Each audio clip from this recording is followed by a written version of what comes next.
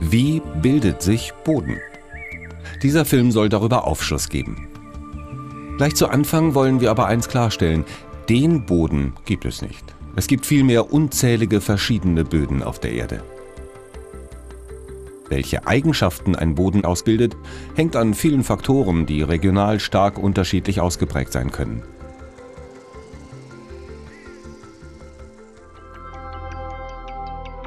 Wie kann der Boden so vielfältige Funktionen erfüllen? Nun, das Geheimnis liegt in den vielfältigen Bodenbestandteilen und im Aufbau des Bodens in übereinanderliegenden Schichten.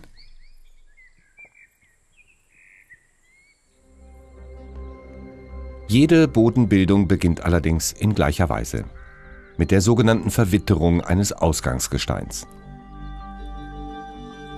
Es gibt physikalische und chemische Prozesse der Verwitterung, die durch den biogenen Einfluss von Lebewesen noch verstärkt werden.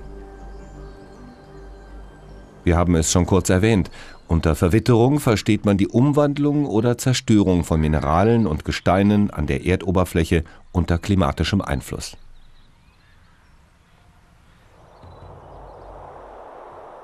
Auf diesem Ausgangsmaterial entstand dann ganz langsam der Boden, wie wir ihn heute kennen. Und so lief das ungefähr ab. Der ständige Wechsel von Hitze und Kälte, von Regen und Frost sprengte zunächst die massiven Felsen in immer kleinere Steinbrocken. Mit dem Transport über Bäche, Seen und Flüsse gelangt die ganze Erosionsfracht irgendwann ins Meer.